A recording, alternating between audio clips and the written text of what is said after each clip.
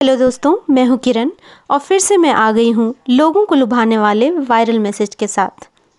तो आजकल व्हाट्सएप और सोशल मीडिया पर जियो के नाम पे जो मैसेज वायरल हो रहा है, उस मैसेज में लिखा है, जियो इस कठिन परिस्थिति में दे रहा है सभी इंडियन यूज़र्स को चार सौ अंठानवे रुपये का फ्री रिचार्ज तो अभी नीचे दी गई लिंक पर क्लिक करें और अपना फ्री रिचार्ज प्राप्त करें।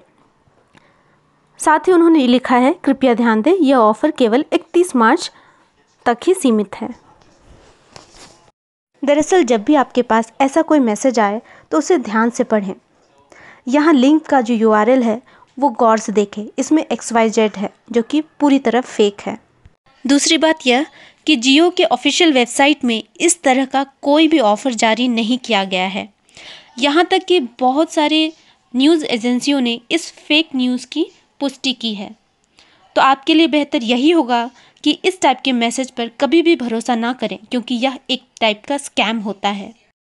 इस तरह के मैसेज का इस्तेमाल लोगों के फ़ोन या लैपटॉप को हैक करने और निजी जानकारियों को चुराने के लिए किया जाता है।